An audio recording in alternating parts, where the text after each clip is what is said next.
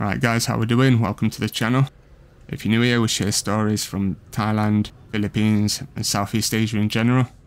So if you have a story you want to share or an experience, then send it in and I can get it read out for you. Today we've got a bit of a sad story from a guy who's met a Thai girl online and he flew all the way to meet her. Things didn't go to plan and yeah, so let's jump into this story. Hi, my name is Nick and I want to share my story with you guys. Long distance relationships with a Thai girl can be both thrilling and nerve wracking, especially when it comes to meeting her for the first time. In my story, I'm going to share my personal experience of a long distance relationship meeting that didn't go according to plan. From unexpected surprises to miscommunications, this is a tale of how my dream first meeting turned into a nightmare, and the valuable lessons I learned from that experience. Let's begin with how we started talking. I am from Germany, I'm 32 years old and I have a steady decent job. It's not a high up corporate job or anything like that, and I'm not rich by any means, but it gets the bills paid and a roof over my head.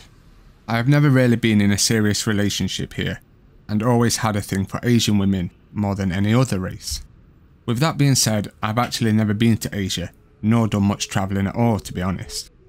Anyway, one night I was bored after work, just slouching on the couch watching YouTube and whatnot, when I came across a video of a guy who met a Thai girl on a dating app called Thai Friendly. So I thought, what the hell, it's just a bit of fun to pass time I guess. I create a profile and set the location to search in Bangkok. I was amazed at all these beautiful women on my screen, spoilt for choice on who to message. I find myself swiping like on almost all the girls I seen on there, a few messages here and there with a few of the girls, but nothing serious. Most did not want to talk when they realised that I was in Germany and not actually in Thailand. Then this one girl got my attention with her profile. Her name was Benz. Her profile read, in English, looking for a serious relationship.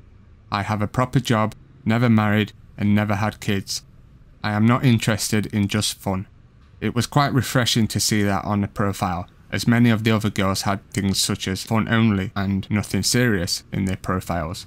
I reached out to Benz introducing myself and telling her straight that I am not in Bangkok, but I am planning to visit when I can.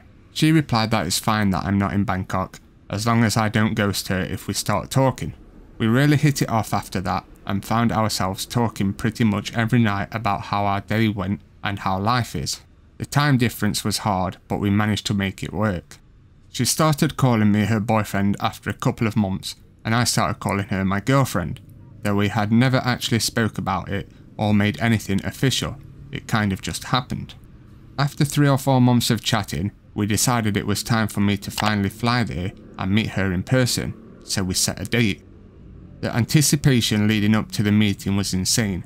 After months of talking on the phone and video chatting, I was finally going to meet my long distance girlfriend in person. I had spent countless hours planning what to wear on our first meeting, what to say, imagining our first embrace, and daydreaming about all the fun we would have together. Sat at the airport, my thoughts were interrupted by the announcement that my flight was boarding. I took a deep breath and made my way to the gate. The flight was long and grueling, but I couldn't wait to finally land and see Benz waiting for me at the airport. My heart was racing pretty much all the way on the flight to Bangkok, my mind filled with excitement and anticipation. I finally touched down, and as I waited in the line to go through immigration, I couldn't help but feel nervous. As I got through immigration, I could feel my heart pounding in my chest. I grabbed my bags and made my way to the arrival gate, scanning the crowd for Benz's face. But as I looked around, I couldn't see her anywhere. My heart sank as I realised she wasn't there.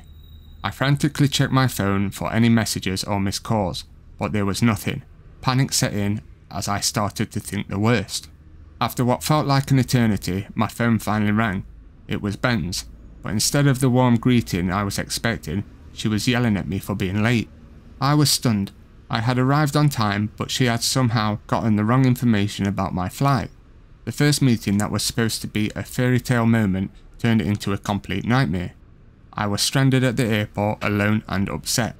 The anticipation had turned into disappointment and frustration, and I couldn't help but wonder if our relationship would survive this disastrous first meeting. Looking back on my long distance relationship meeting gone wrong, there were certainly red flags that I had ignored leading up to our first meeting. For one, we had only been talking for a few months before deciding to meet in person. While I was swept away in the excitement of it all, I now realise that it might have been too soon to take such a big step. Another red flag was her reluctance to talk about her past relationships. Whenever I brought up the topic, she would quickly change the subject or become defensive. At the time, I didn't think much of it, but looking back, it was a clear sign that she has some emotional baggage that she wasn't ready to address. Additionally, there were times when she would go days without responding to my messages or calls. When I would confront her about this, she would always have an excuse, but I should have realised that consistent communication is crucial in any long distance relationship. Finally, there were a few instances where she would make comments that were a little controlling, possessive, or full of jealousy. And again, at the time, I didn't think much of it and brushed it off as her being protective, but in hindsight, it was a warning sign of potential unhealthy behaviour. Ignoring these red flags ultimately led to this disastrous meeting. I wish I had been more aware of them and had taken the time to address them before deciding to meet in person. Looking back, it's clear that we were not as compatible as I had initially thought, and it's important to pay attention to these warning signs in any relationship, long distance or not. The moment when everything started to go wrong was when I finally met my long distance girlfriend in person. After the confusion at the airport, we finally found each other and started our journey to the hotel. I was trying to make small talk and break the tension, but she seemed distant and uninterested. As we arrived at the hotel, I couldn't help but feel disappointed. The room was not what I had imagined, and it was clear that she had not put much effort into planning our first night together. We ordered some food, but the conversation was strained and awkward. Things went from bad to worse when she suddenly announced that she had to leave to take care of something urgent. I was left alone in the hotel room, feeling hurt and confused. It seemed like she was purposely avoiding spending time with me, and I didn't know what to do. The next day she showed up late and barely spoke to me. We attempted to salvage the trip by going sightseeing around some markets and temples, but even that was awkward and uncomfortable. The chemistry that we had on the phone and over video chat was completely absent in person, and it was clear that we was not as compatible as we had thought. The rest of the trip was a blur of uncomfortable moments and awkward silences. I tried my best to make the most of it, but I knew deep down this was not how I had imagined our first meeting. Looking back, I realised that the moment when everything started to go wrong was when we met in person. It was then that we realised that the connection we had online was not the same as in person, and it was clear that we were not meant to be together. After the trip, we said our goodbyes at the airport and I headed back to Germany. As soon as I got back, I blocked her from everywhere. There was no point in trying to make it work after that trip. So even though this is my bad story of a long distance relationship, I'd like to share some advice to anyone that is in a relationship like mine or planning to start one. My failed first meeting in a long distance relationship taught me several important lessons that I believe can benefit others in similar situations. First and foremost, it's crucial to take the time to truly get to know someone before making plans to meet in person. While mobiles and stuff has made it easier than ever to connect with people from all over the world, it's important to remember that the virtual world can sometimes be very different from reality. Another important lesson I learned is the importance of setting clear expectations and boundaries. When you're in a long distance relationship, it's easy to get caught up in the excitement of finally meeting in person, but it's important to have honest conversations about what you both want and need from the relationship. This includes discussing expectations around communication, time spent together, and what your plans are for the future. Lastly, I would advise others in long distance relationships to trust their instincts. If something feels off, or if there are red flags that you've been ignoring, it's important to address those issues before making plans to meet in person. It's also important to remember that not all relationships work out, and that's okay. Sometimes, despite our be best efforts, things just don't work out, and that's not a reflection of our worth or value. So in summary, my failed first meeting in a long distance relationship taught me the importance of taking the time to get to know someone before meeting in person, setting clear expectations and boundaries and trusting my instincts. While it was a difficult experience, it ultimately taught me valuable lessons that I can use in future relationships. So if you're in a long distance relationship, remember to take it slow, communicate openly and honestly, and always listen to your gut. Remember that the journey of finding love is not always easy, but it's worth it in the end.